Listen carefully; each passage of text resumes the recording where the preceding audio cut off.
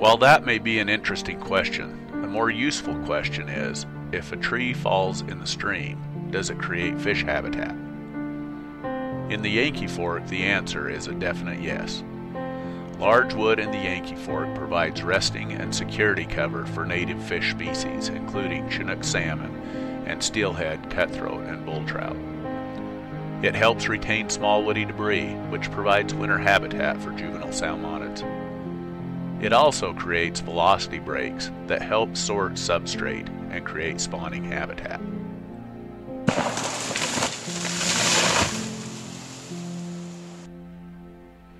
Mining, which began in the Yankee Fork in the 1870s, has directly affected Yankee Fork streams. However, less noticeable indirect impacts remain from timber harvest associated with mining. Miners who flocked to the Yankee Fork towns of Bonanza and Custer needed houses and heat, and the local forest provided those needs. In 1880, there were five sawmills in the Yankee Fork, with a combined capacity of 40,000 board feet of lumber per day. In 1881, an ore mill was constructed, which used 300 cords of wood per month to fire at steam power. By 1904, the local newspaper reported that the hills for miles around Custer were denuded of trees. The trees currently present along the Yankee Fork might lead one to believe that the area has fully recovered from timber harvest impacts. However, Forest Service data comparing the Yankee Fork with similar areas where timber harvest did not occur show that the amount of large wood in the Yankee Fork stream channel is still only 24 to 57 percent of natural levels. During 2014 and 2015, resource managers and conservation interests cooperated to implement a project aimed at increasing large wood loading in the Yankee Fork to natural levels.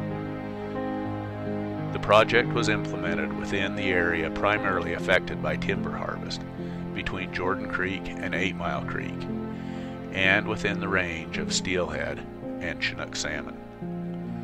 The project involved adding 728 pieces of large wood to the 7.4 miles of stream.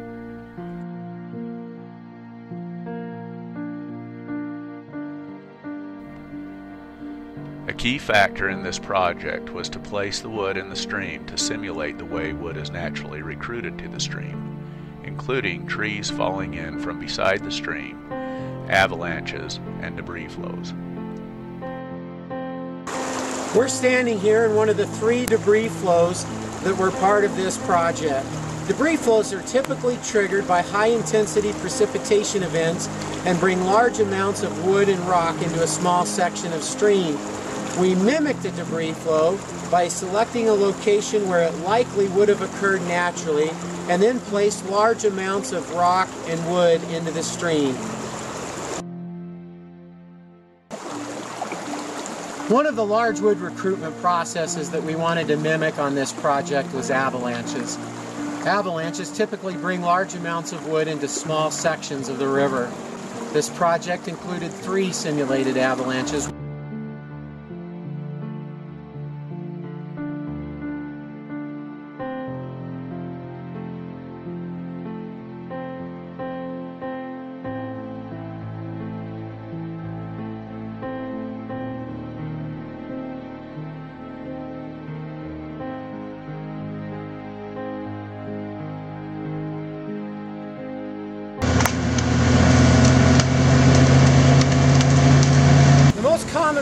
Common large wood moves into the Yankee Fork is through what we call streamside recruitment.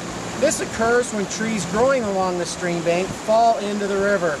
This project involved placing a large number of trees in the stream in a manner that mimics streamside recruitment.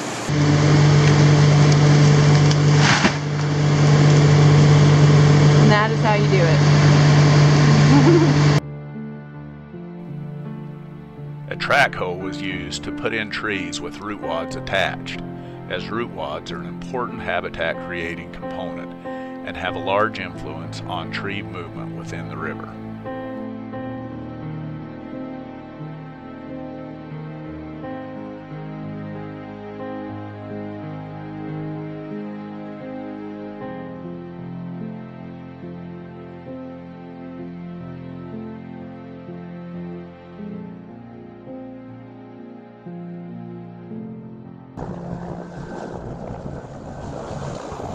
Trees were also placed with a helicopter in areas where access was difficult or where it was important to avoid removing trees that would later naturally fall into the stream.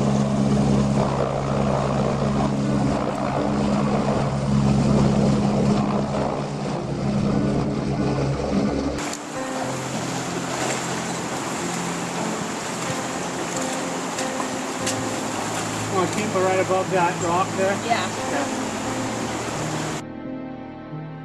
Aaron, we got uh, flagging on a rock just about 20 feet up from the last one.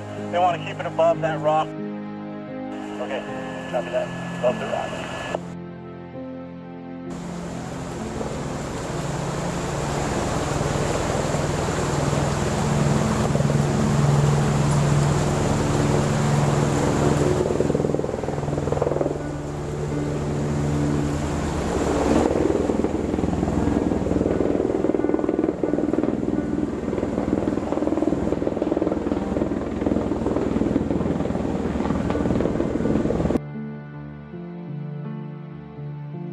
We're on the lower reach of the Yankee Fork below Custer. Um, this is a tree that was put in uh, last week uh, by our project, and there's uh, a lot of little fish that have kind of keyed in on the slow water uh, habitat created by the tree as well as the cover. Both juvenile and adult fish quickly began using the newly placed logs.